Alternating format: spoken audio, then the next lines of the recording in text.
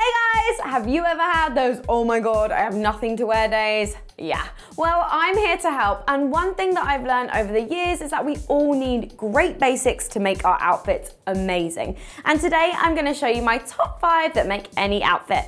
I'm your host, Electra Formosa, and you're watching Style Wire.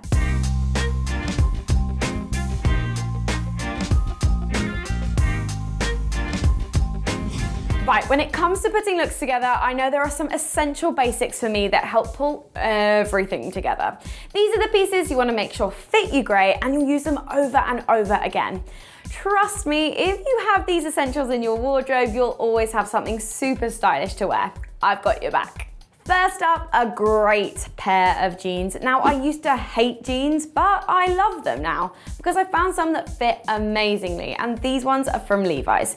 Find a pair that work for you and your lifestyle, whether you want a smarter pair for work or you're a casual girl and just want some to hang out with your friends. Next up, a plain tee. I have a couple of different colored basic t-shirts in my closet and they make styling statement pieces super easy because they're the perfect base. Just find a couple of colours that work for you and you're good to go.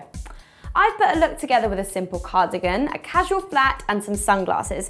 But you could also change it up and add a flannel shirt and then my next essential, a leather jacket. A leather jacket is my absolute go-to piece. It's super versatile to dress up and down and I've added it to my next look that features a few more essentials.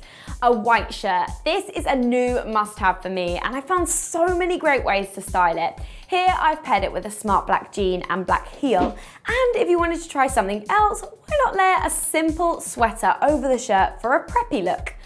My final essential is a great comfortable, and that's very important to find a comfortable pair of black pumps. These are great for formal occasions, to wear in the office, or on a night out.